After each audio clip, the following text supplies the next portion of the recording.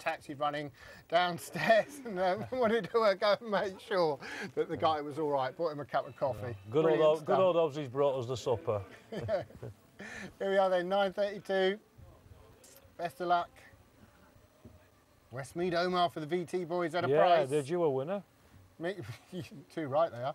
And they're away, and uh, four has got away here. Black Rose, uh, Ned Bernard, as well as the five. Rookery, Pedro for Mark Wallace, and it's uh, the five that's uh, going on here So you make their way down the back straight. Five leads up to six, then we've got four, then one in behind them, two and three, but it's the orange jacket of five. Rookery, Pedro by about three lengths. Babies, Toby in second place. Ballymac Eugenie getting going now, and it's five, but one's making up ground, not all over. Five and one together at Henlow again. Five's in front this time, stays there. Five, one, four.